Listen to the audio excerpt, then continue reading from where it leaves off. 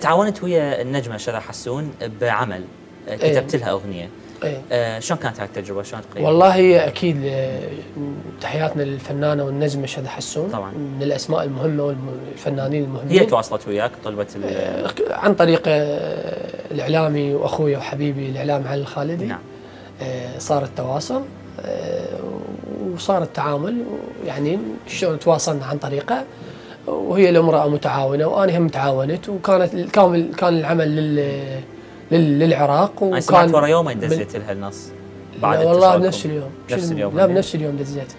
آه، كان آه، من الحان الفنان الكبير آه، حاتم العراقي. طبعا. ويعني هي الامرأة والفنانة كانت جدا مرحبة بالعمل وطلبت إنه حتى أشترك وياها بالعمل. وطبيت الحمد لله نجحت. طبعا كانت أغنية حلوة. شلون صارت عينك؟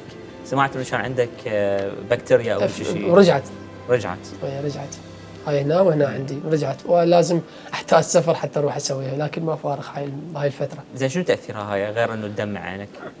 تدمع وممكن هي تسبب لي بال- بالأيام القادمة ممكن تسوي تسوي لي تلف بال بالشبكية. أو لا استعجل موضوع العلاج. إيه، أنت سويت عملية بتركيا أو؟ إيه. سويت هنا بال بالناصرية وحدة وسويت وحدة بتركيا. عندك ألف عافية. أشكرك.